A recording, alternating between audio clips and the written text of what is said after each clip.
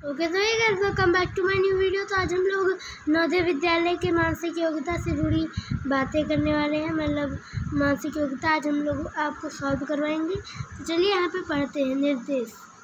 प्रश्न संख्या एक से पाँच तक के प्रत्येक प्रश्न में चार आकृतियाँ एक, दो, तीन, चार तथा एक, दो, तीन तथा चार दी गई हैं। इन चार आकृतियों में तीन आकृति कुछ हद तक सदृश्य हैं।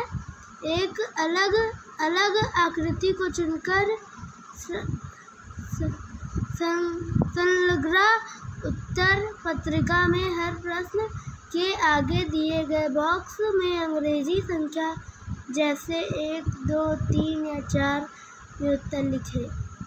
चलिए हम इसे सॉल्व करते हैं। जैसे इसमें एक, दो, तीन, चार। एक, दो, तीन, चार। एक, दो, तीन, चार।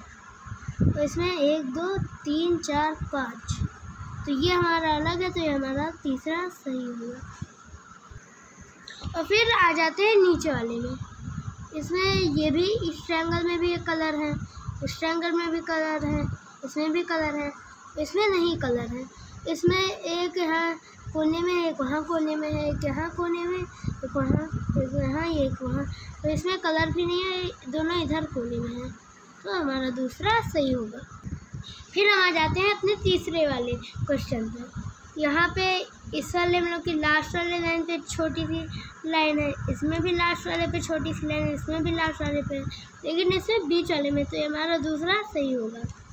फिर आ जाते हैं हमने चौथे पे।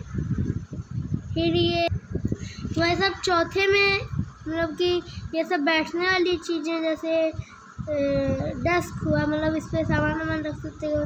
ये चेयर हुआ और ये बेड हुआ, लेकिन ये हमारा कुल्हाड़ी है मतलब एक्स तो ये भाई अलग हो, है तो इसे हम लोग टिक लगाएँगे।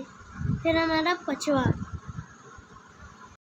तो भाई पचवे में एक को लाइन नहीं है, इनमें भी एक को लाइन नहीं है, इसमें भी नहीं भी नहीं। लेकिन इसमें एक लाइन है, इनका मुँह खुला है। इसका मुँह नहीं खुला तो ये हमारा अलग है तो ऐसे ही होगा। आशा है कि आपको ये वीडियो अच्छा लगा हो। तो इसी के साथ हम लोग चलते गए बाय